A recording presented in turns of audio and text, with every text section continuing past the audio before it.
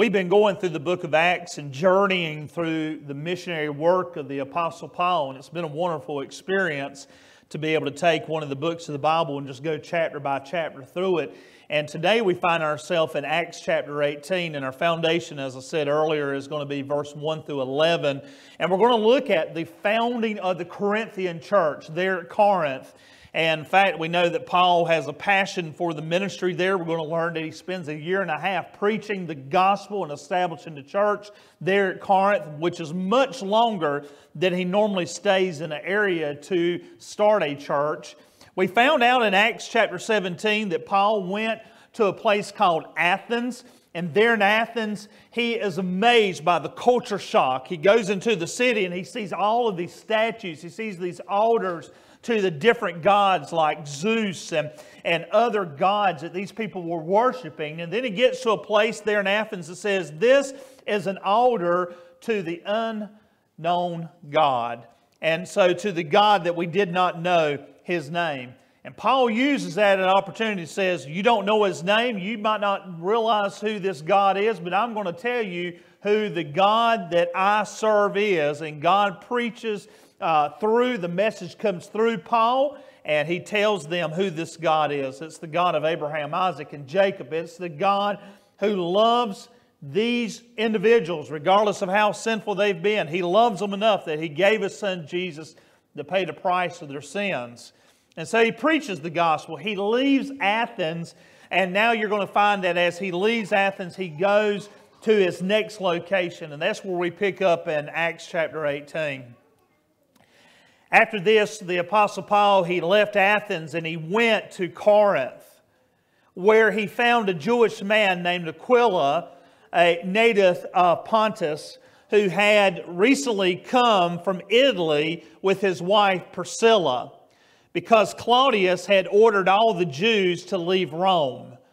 Paul came to them and began the same occupation, uh, being of that, stayed with them, and worked for there were tent makers by trade. So you find out that Paul leaves Athens, he comes to Corinth, he meets two fellow believers in Jesus Christ, Priscilla and Aquila, and he is now going to join them in working uh, to gain resources so that he can continue this missionary journey as being tent makers. Tent makers at that time would have used the skin of goats to make their tents.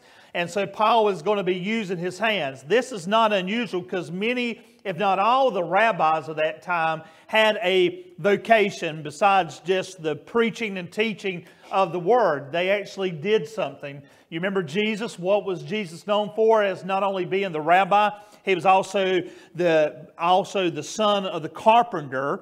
And so he worked with his hands. He would have been in the carpenter shop. And here Paul was a tent maker. You have followers of Jesus that were fishermen, and now you see what's happening here. It says that while he is there, it says that he reasoned, which means he preached, he taught in the synagogue every Sabbath. This was not unusual. Paul goes to the Jews first. He goes to the synagogue. Every time he goes to a new location, he goes to where the religious hub is so that he can share the good news of the salvation that comes only through Jesus. He says, and he tried to persuade both Jews and Greeks. Now, the reason that word tried is because Paul is only required to present the good news. He is trying to share this with them he cannot force them. We cannot force anyone to become believers in Jesus Christ, but we can at least try. And I asked you this question, and you can answer privately to yourself. Have you at least tried this week to persuade someone about Jesus? Answer that to yourself. In verse 5, it says, When Silas and Timothy, and if you remember Silas and Timothy, Timothy was a young believer. Paul had led him to the Lord. Silas had been thrown in prison with Paul, preaching the gospel. He's a fellow traveler, missionary. It says that when Silas and Timothy came down from Macedonia, Paul was occupied with preaching the message and solemnly testified to the Jews that Jesus is the Messiah. I love part of that uh, fact, all of it, but part of it really stands out to me. It says that while his two missionary friends came, Paul was occupied doing what? Preaching and teaching about Jesus. He was occupied about Jesus. What is on your daily calendar? Is a lot of it just a bunch of nothing? Or is it what is important, the kingdom? We waste a lot of time, don't we? We waste a lot of time. And I will tell you something whenever you spend time doing the work of God, that is time well spent. It says here in verse 6 But when they resisted and blasphemed, he shook his robe and told them, Your blood is on your heads. I am innocent. Paul, remember where he's at? He's in the synagogue.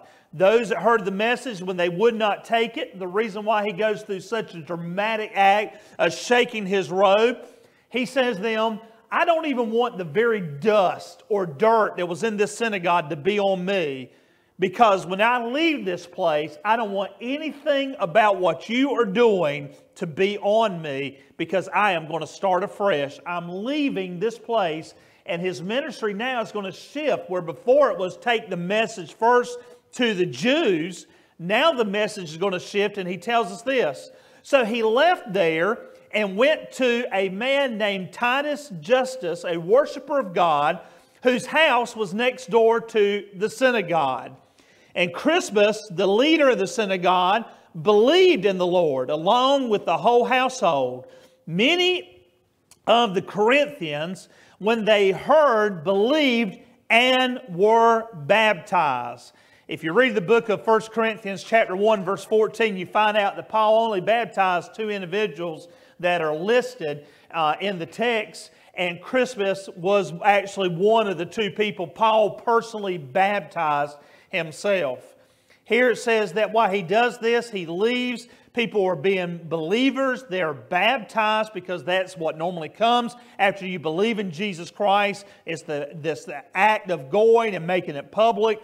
And then verse 9 it says, Then the Lord said to Paul in a night vision, Don't be afraid, but keep on speaking, and don't be silent. For God to say to Paul, Don't be afraid, let's just use some logic here. If you tell someone, Don't be afraid, obviously it's because there must be some fear present. Paul is a bold believer in speaking the truth for Christ but did not mean he still wasn't human.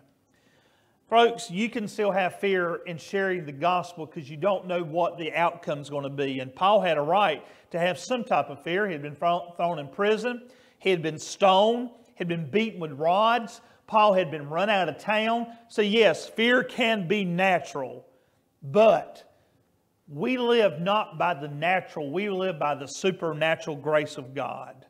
And here we see that he says, to Paul in this vision don't be afraid. And how do you conquer fear, Paul? And how do you conquer fear, church? It says, keep on speaking and don't be silent. You see, because the enemy wants you to live in fear and living in fear by being quiet and not sharing the hope that comes in God.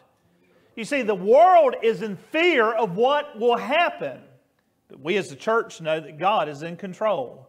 You flip through the channels and you see all the uh, wild things that are happening overseas. You find out in yourself, you're wondering what China will do, what Russia will do, what will happen to Ukraine, what will happen in Poland and Hungary and Romania, and all of these places. We don't know based on the actions of certain people in this world what will happen. But what we do know is this regardless of what happens, God Almighty has not surrendered His control. And here it says that He is told to keep on speaking, don't remain silent. Verse 10 For I am with you, and because I have many people in this city, and he stayed there about a year and six months, teaching the word of God among them. Now, pause there for a moment.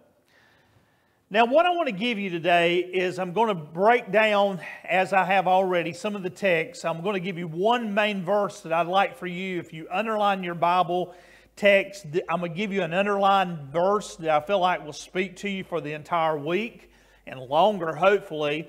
But then what I want to do is I just want to just really bring it home to how you can apply this to your life, not only now, but in the future. So let me just give it to you. Corinth is not one of these cities that is considered to be uh, the cultural hub of education. Remember, Athens was the Harvard, the Yale, the Oxford. They were the place of the intellect.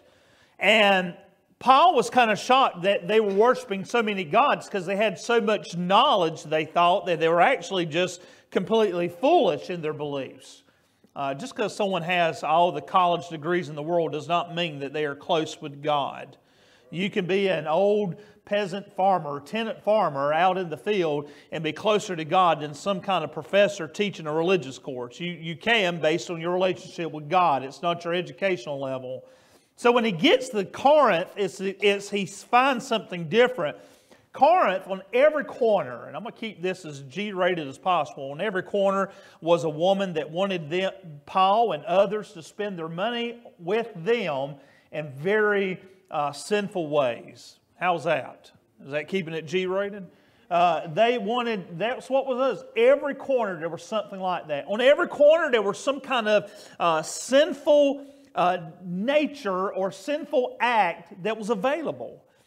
Corinth is over twice the size of Athens, and that's why some say, well, one, there was so much sin in Corinth, that's why Paul spent a year and a half there, because basing the church, teaching them, he spent so much time there.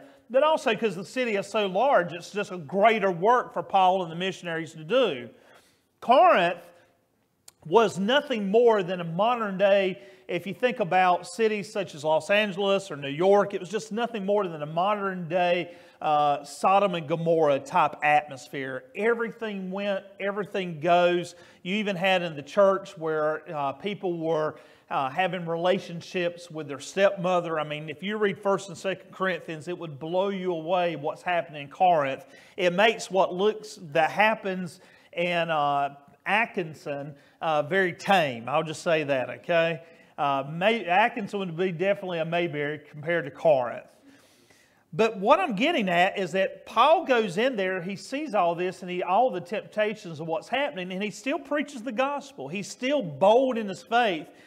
And the early believers, how many of you know that you can't take but so much? You've got sin pounding you on all sides, temptation pounding you on all sides, that you just got to surrender to God and say, God, I need you just to protect my mind, my eyes, my mouth. Protect me because there's so much out there that is just being flaunted in front of me. And that's what Paul was going through. But in this, Paul was still encouraged. What here's the main part of the message this, verse 11. We find out that when he's told to stay there, and then he says he stays there a year and a half, but what is allowed him to stay there is what happens in the verse before that, verse 10. Let me give it to you, and then we'll just break it down. God speaks to Paul, the Lord Himself. The Lord speaks to Paul in this vision, this, this night vision, and says to him, Paul, I am with you. Paul, I am with you. Folks, I encourage you at times to mark your Bible. You've known that. But this is definitely one you mark, you can circle, and take it to the bank. Does God change? God doesn't change. Is there times that you have felt alone in doing what God has called you to do? God's called you to be faithful in the work. God's called you to be dedicated, dependable on Him. And there's at times that we just feel like we're in it by ourselves. Paul must have felt that way because God reminds him, hey, there are other people here in Corinth that are also believers. You're going to be okay, Paul. But not only if there was no one else in Corinth, not if not one other person believed in the gospel, God speaks to him, and the Lord Himself says to Paul, I am with you. Now, in the last so many weeks of looking at this text, here's what it speaks to me. If God does not change, and God encourages us through His Word, and we want God to speak to us, we have a world right now that needs to know, the body of Christ needs to understand that God is still with us. If we look in Matthew's gospel, the very last chapter Matthew 28, verse 20, Jesus says, as he gets ready to leave this world. He says, I am with you always, even unto the very end of this age. When we take, and I know this is a very serious note, and I want it to be this way. When we take our very last breath on this side of eternity, understand Jesus, His Spirit, His presence is with us when we take our last breath, and He's with us when we take the next breath there in heaven. He has not left us, He has not abandoned us.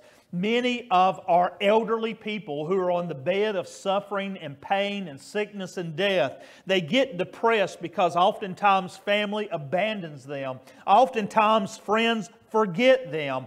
But we know this that there's so many elderly Christian people that have looked at their Bible and says, I remember the preacher saying, God does not change. And if he would not abandon Paul in a place that was nothing more than corrupt and sinful like Corinth, he will not abandon me in my cancer or my sickness or my problems or my pain.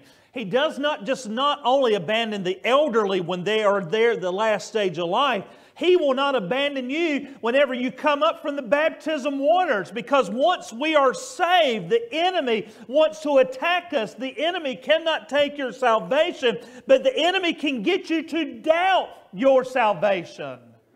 And I will tell you this you can doubt your salvation, but if you do, it is to your own despair because just as you look in the mirror and no one can convince you you are someone different than what you really are, you look in the mirror and say, I know I am who I am. Here I am.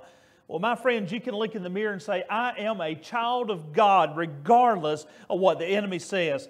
As children, have we been disobedient to God? I'm sure all of us have. But just like a good and loving father, we might be punished as we deserve, but we also know this that our Father loves us enough that He never expels us from His love. He never expels us from His love. Let me show you a few Bible verses. Can I just go to the Bible and prove what I'm saying to you? Thank you for your permission. Uh, and I encourage you to turn, and if you don't turn, then I encourage you at least write this down. And the reason why I want you to write it down is I'm going to give you some Bible verses this morning that between now and the time we leave this place, that if this doesn't encourage you, I don't know what will. Because the main focus today is this regardless of what you're going through, regardless of where you're at, you can be in a sinful state of the job you work at. God's not left you. Your, your co workers been doing stuff that's just horrendous, God still loves you and has not left you. You might be in sickness, God's not going to leave you. He still loves you. God loves you enough that while we were yet sinners, Christ died for us. And we look at the book of Genesis. At the very beginning, it says in Genesis chapter 28, take a few moments, if you will, and turn over to Genesis 28. If you're new in, in finding books of the Bible, the easy way is if you've got the Revelation, you've gone too far. So just go to the very beginning of your Bible. Genesis 28, verse 15. Now, did we say that God doesn't change and that His Word is true yesterday, today, and His Word will be true tomorrow? Yes. So let's look at His Word. Genesis 28, 15. Listen to what God says to us. The Word of God speaks the following Look, behold, I am with you and will watch over you wherever you go. I will bring you back to this land, for I will not leave you until I have done what I have promised you. God will not leave us. God is with us while we travel. God is with us wherever we go. Why? Because it says, I am with you, and not only with you, but I'm going to watch over you. If you ever had a babysitter as a child, you know there were some babysitters that you probably would desire more than others because some would be there and they were with you, but some would actually watch over you. And some of you, as parents, know there's some people in the community that you could call to watch your child, and you say, well, they would be with them. But how many of you know sometimes that's not enough to have someone to just to be there? But aren't you glad we have a God that's not only just saying, I'm there, but I'm going to watch over you as well. He's watched over me more than I can ever imagine, and He's watched over you even whenever you didn't realize it. He says, I will watch over you, and not only watch over you while you are in church, not only while you, and I thank God He doesn't take roster, He doesn't take attendance, He doesn't watch over us just when we're being good boys and good girls. He watches over us wherever we go. My friends, I will tell you this when you pray over your child, they might end up in the nightclub that night. They might end up in the back seat of someone's car, but God is still watching over them. God knows and God can convict them anywhere they are. There's no location that will surprise God because He always is watching over us. Now let's turn over to some more part of the Bible because maybe you say, well, that's good for one text. And you showed us in Matthew's gospel, you showed us in the book of Acts. But Pastor Ken, is there anywhere else other than there in Genesis? Well, let's look at Isaiah. Isaiah chapter 41, verse 10. The Bible says the following God is speaking to his people Do not fear. For I am with you. Is this the same words we read in the book of Acts that Paul heard? Yes. It says, Do not fear, for I am with you. Do not be afraid. Why? Because I am your God, and I will strengthen you, and I will help you, and I will hold on to you with my righteous right hand. You see, if you will surrender your life to Christ and you will put Him as Lord of your life, the King of your kingdom, if you will confess Jesus as Savior, if you will turn over your sins and realize that He is the only one that can redeem you, when you are born again, not by works or deeds, but by simply a transformation of asking Him to come into your life, and you say, But I've waited near the end, it does not matter because in God's kingdom, there is no end. You might waited to the end of this life, but there is no end of all eternity. So, no, you did not wait too late. You didn't wait. If a man on a cross could be dying and turn to Jesus and say, Please remember me, you say, well, he waited too late. No, because Jesus says, today you'll be with me in paradise. You have not waited too late. If you hear this message right now, or maybe later on you hear this message again, you have not waited too late. Why? Because if you will turn to the Lord, he will not abandon you because you are his child. tells us don't fear. Doctor reports can get us fearful, can it not? We all know what fear is. But fear, my friends, is not final. You do not have to fear. Now, are we realistic? Yes. But you don't have to fear. Why? Because He is with us.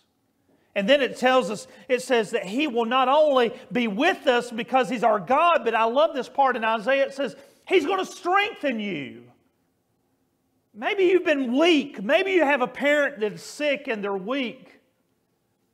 I saw yesterday, I was with my grandmother, and my grandma's 92 years old, and I thank the Lord I still have my grandmother with me. And while we were together, I could just tell uh, she's not as strong as she used to be. When you get 92, you have a right to, to get a little weaker, right? But I can tell you this on the inside she's strong because of her faith still in Jesus Christ and the hope of heaven. You see, your body might fall apart on this side of the world. Your body might go through all kinds of sickness and ailments, and you might have to get radiation and treatments and chemo, and you might have to do all of these things that makes you weak. Friends, we have people in our own church right now that is battling ailments and sicknesses that we don't even realize that when they come to church on Sunday that they're hurting more than they actually let on. We have people right now that are in hospitals and at the Mayo Clinic that much rather be here than they had there. But the scripture's not that God is with us when we are physically strong and able to plow the field and plant the gospel message. He is with us when we are weak. His strength is strong enough. When I am the, at my weakest, when I am at my most defeated, when I'm at my point of I realize I have nothing to offer the Lord, that is exactly when the Lord's strength shows up most in my life and in yours as well. He does not love you because you have anything to offer Him. He loves you because He has everything to offer you. It says, I will hold on to you because I, my strength is enough. I will help you. Do you need a helper? It says, I will help you. I will hold on to you with my righteous right hand. Folks, if you are in here and you have a child, especially you mamas, and I've seen some of you mamas with your children, if you have a young child and they want to get ready to run out to the road, mamas are holding that hand. Trust me, mamas ain't going to just let the child run out to danger, are they? No. And God is the same way. God says, I will hold on to you with my righteous right hand. When you want to run into danger, when you want to go into sin, I'm not going to let you go. I am holding on to you. Now let's turn over to Isaiah chapter 43, just a few chapters over, verse 5. Here we find these words that are so familiar, and you say, Well, Pastor Ken, they almost sound identical. Well, the reason why is because God doesn't change. In Isaiah 43 5, it says, Do not fear, for I am with you. I will bring your descendants from the east and gather you from the west. You see, we do not have to fear because God says, I am there and I will gather you together. And my friends, He's going to gather us not to Israel one day, He will gather us to His eternal kingdom in heaven. Let's continue. Jeremiah chapter 1, verse 8. Go over just a little bit further uh, to the next part. This is Jeremiah 1 8. Do not be afraid of anyone for I will be with you to deliver you. This is the Lord's declaration. So, do we believe what God says that we do not have to be afraid because He will deliver us from our enemies? Yes. And then you go over to Haggai chapter 1, verse 13. In the Old Testament, very small book of the prophet, it says uh, here, Haggai, the Lord's messenger, delivered the Lord's message to the people. I am with you. This is the Lord's declaration. Now let's turn back to the book of Acts before we leave this place. In Acts 18, what do we say? We saw that Paul is told in this night vision. I think it's important that the reason why we're told that what time that God speaks to him these promises is at night.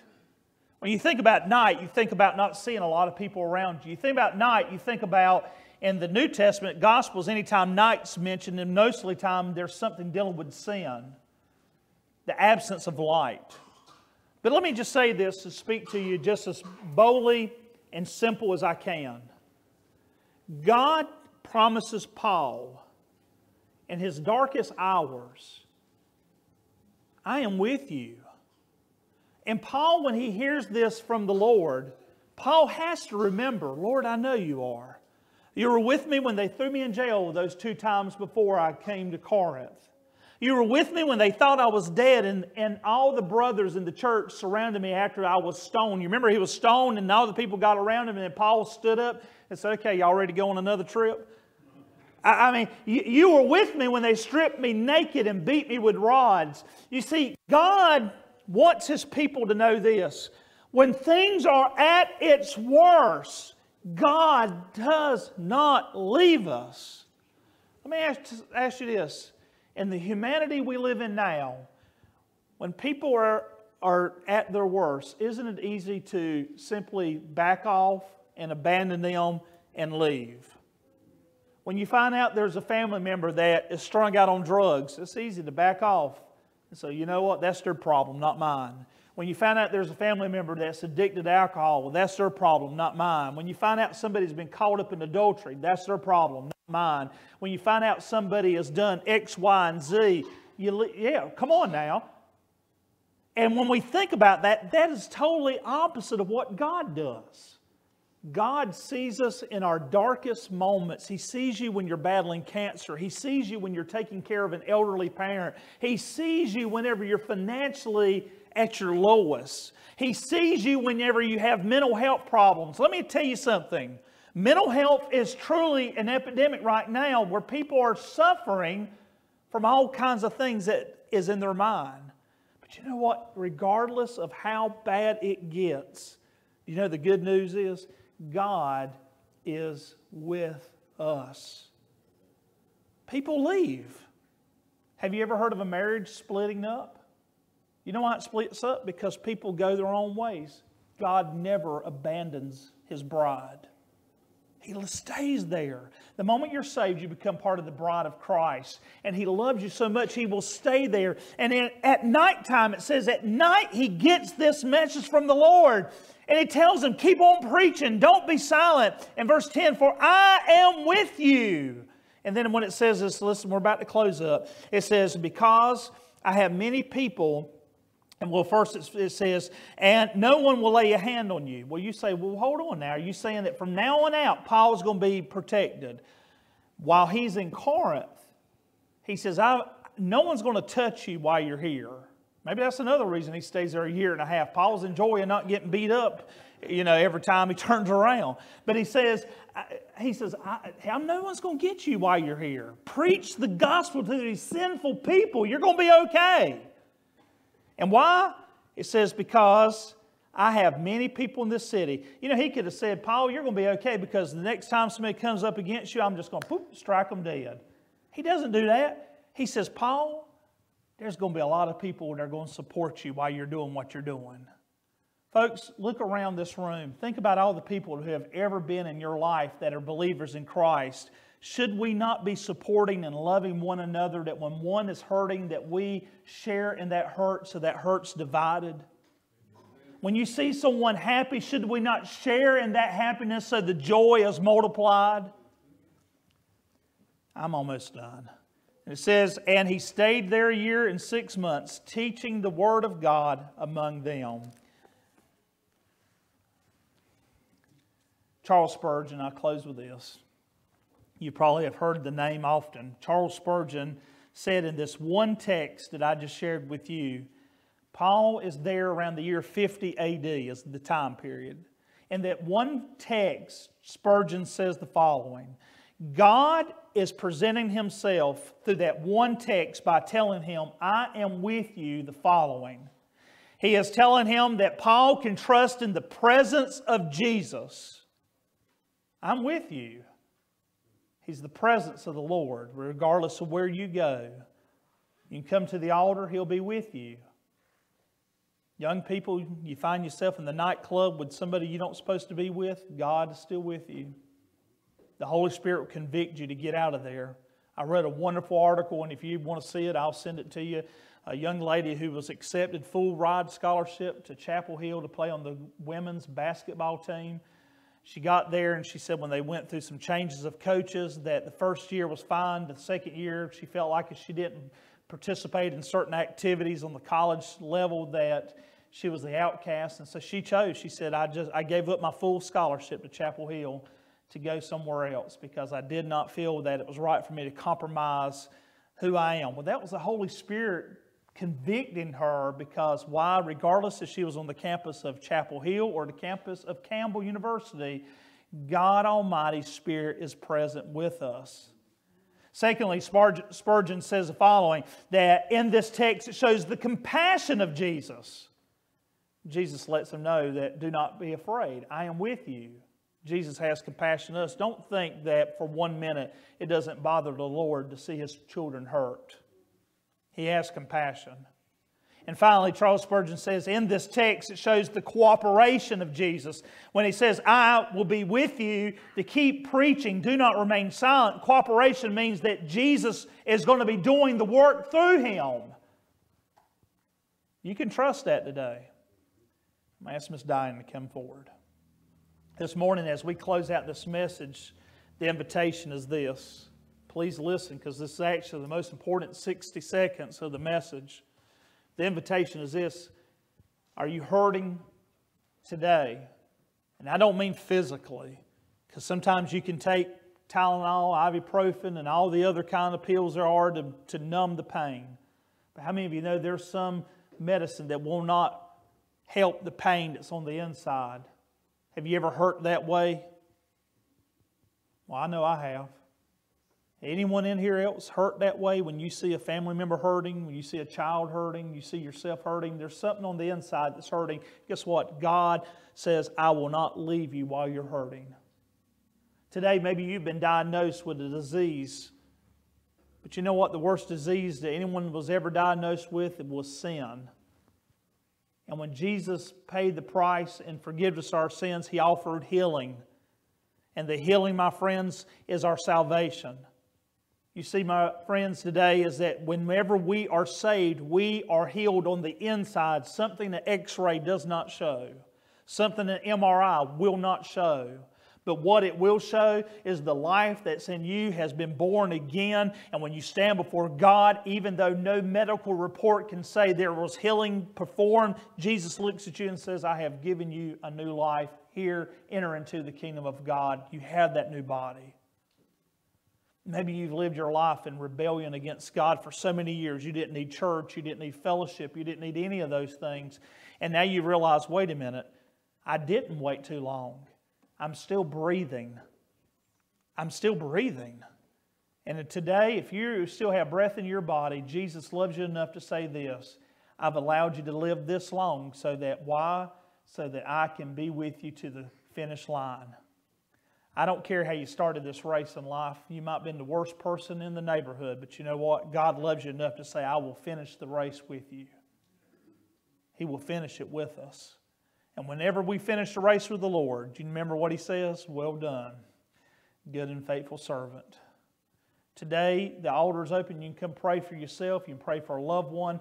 But will you take the scriptures that I gave you this morning? Genesis 28 15, Joshua 3 7, Isaiah 41 10, Isaiah 43 5, Jeremiah 1 8, Haggai 1 13, Matthew 28 20.